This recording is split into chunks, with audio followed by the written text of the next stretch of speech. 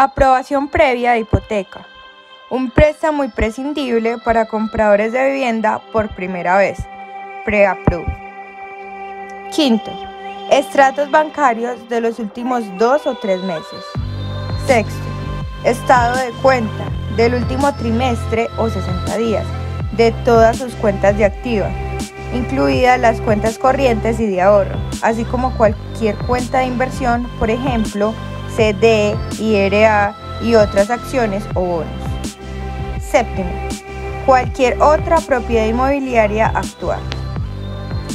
Octavo, historial residencial de los últimos dos años, incluida la información de contacto del arrendador si alquiló.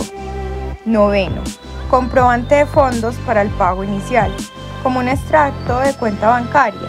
Si el dinero en efectivo es un regalo de sus padres, debe proporcionar una carta que indique claramente que el dinero es un regalo y no un préstamo. Llame a Sergio Jaramillo 239-645-6017 o 239-440-4104. No cometa este error de aprobación previa.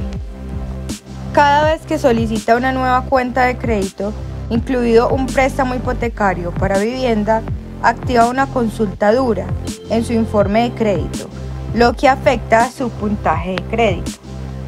Su puntaje crediticio puede caer tan solo unos pocos puntos o hasta 14 puntos, según su historial crediticio y la cantidad de otros préstamos o cuentas de crédito que haya solicitado en los últimos 90 días.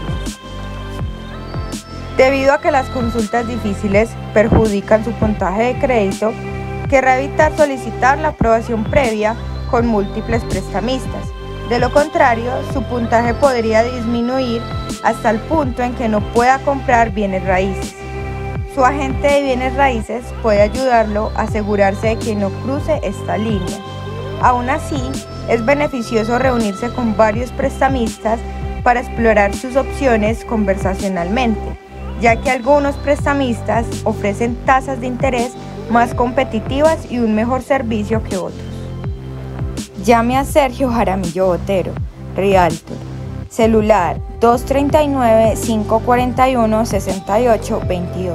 Oficina 239-440-4104. O al WhatsApp 239 64 56 017.